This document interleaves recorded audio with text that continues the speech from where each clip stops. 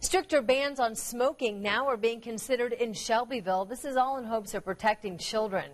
The city may expand its smoking ban to include school bus stops. Jennie Runevitch is here now with how a local mother sparked this effort to keep her son safe. Jenny? Well, mom asked the city to look into this because her son had a bad medical reaction to an adult smoking at his bus stop. Now, a law change is likely in Shelbyville.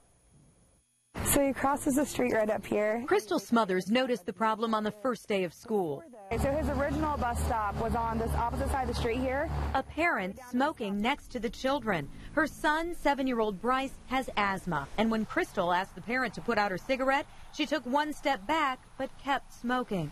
And I kind of explained to her that, you know, that just wasn't going to be enough. And he was already starting to wheeze. And she just didn't seem to care at all. I realized about one out of every three bus stops, someone was sitting there smoking with the children. If you think about those kids, they're there five days a week, morning and evening, have to inhale that. That's a lot on their lungs. So the school changed Bryce's bus stop. About a week later, he was moved back down to this corner over here to be by himself away from the smoking. And Crystal contacted her councilman about changing city law to include bus stops in the smoking ban. We don't want to limit people from um, um, smoking around their maybe the front yards where a bus stop is, but we, we think acceptable maybe 15 or 20 feet so the children don't have to have the secondhand smoke. A 15 foot perimeter for not only school bus stops but also government buildings and city bus stops in Shelbyville. A vote expected next month. Police would warn then ticket violators. Yeah, I totally agree with that.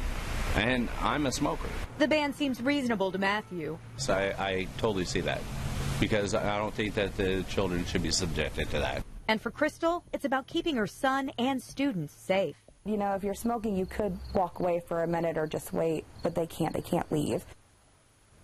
So the City Council is now working out specific language of the law to make sure that personal property is still protected in all this. Again, the vote expected in October. Okay, so what about enforcement? Are police actually going to go out there and patrol the bus stops? They will, and they already do for safety. Of course, education, awareness is their main goal, but if this does become law and people, let's say, violate the ban multiple times, there will be tickets issued.